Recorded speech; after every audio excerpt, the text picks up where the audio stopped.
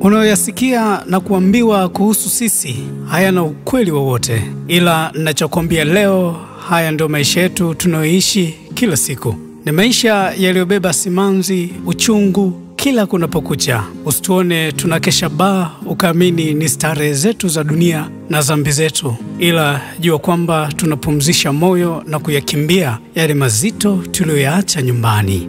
Mtaani kwetu yale matukio ya uwizi na unyang'anyi wa vibaka hatuyasikii tena, ila yale matukio ya ubakaji na urawiti kwa watoto zetu ndiyo yaliyoshamiri mtaani kwetu kwenye maisha yetu. Mbaya zaidi, wanaotuharibia watoto ndio wanaotawala vizimbani kwa ukubwa wa mifuko yao na kupoteza ushahidi wetu. Haya ndiyo maisha yetu yaliyopoteza nuru. Sasa hatujui kesho yetu kwa sababu mbele yetu ni giza. Ugumu wa maisha umezalisha moyo wa uoga wenye tamaa ndani yake kwa vijana. Sasa wanatamani kuwa wanawake, wanapenda mwonekano wa wanawake. Labda hiyo itanusuru ugumu wao wa maisha. Familia inapoteza furaha kuona mama anatoka leba na mtoto wa kiume, maana maisha yetu ya sasa, mtoto wa kiume imekuwa ni changamoto kweli kweli. Nilisema leo nitakwambia ukweli kuhusu maisha yetu. Ndoa tulizonazo hazikaliki tena, ndoa zetu zimegeuka mwiba. Yaani kwenye ndoa ni mateso makali yasiyo na mfano.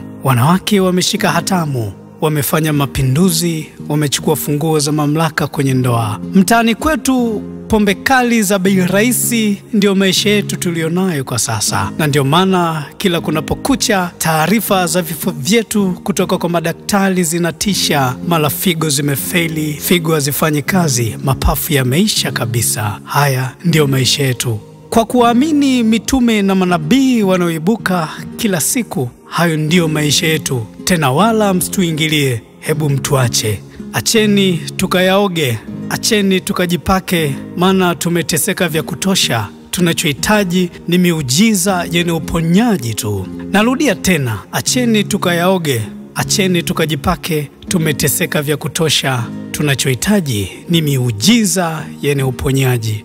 Kwenye maisha yetu ya kubeti leo, sitokuambia mengi kwa sababu kuna kundi la watu wasiojua utafutaji, wanapinga kubeti, wanabeza sana kubeti, lakini ukweli ni kwamba kubeti ndio tumaini kubwa pekee lililobaki kwenye maisha yetu huku mtaani kwetu. Kikubwa ni uvumilivu, kubeti kistaarabu, huku tukisubiri zamu yetu kumshangaza muhindi. Nilisema leo nitakwambia kuhusu maisha yetu.